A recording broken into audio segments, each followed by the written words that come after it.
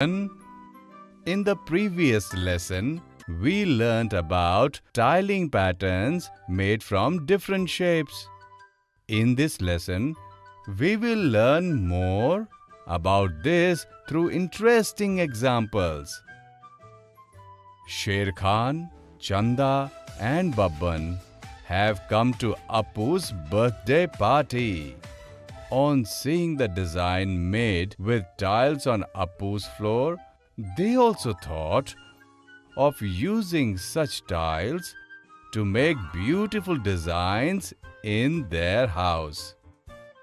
The party got over and everyone went back home.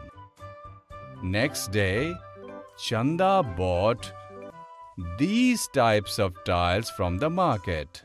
The shopkeeper had told Chanda that she could use tiles with such shape and make this type of design. But Chanda is unable to make this design. Children, can you help Chanda make design by making use of the tiles with this shape? Yes, we can make this design by turning and joining the tiles in this manner. Chanda is very happy to see the design of her new floor. Come, let's see what Sher Khan is doing.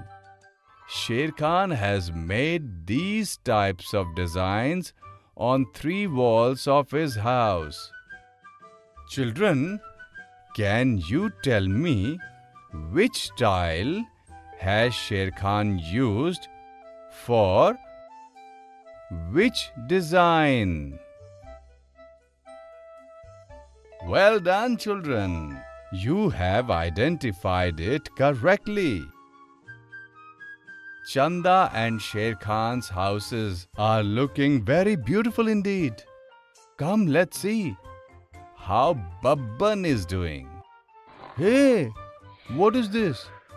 Babban has slept after making the pattern on just half of the wall.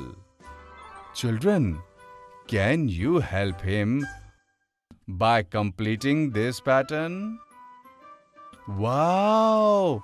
Children, you have completed it correctly. Babban has woken up. Look how happy he is looking at his beautiful wall. Children, in this lesson, we saw some interesting examples of tiling patterns made from different shapes.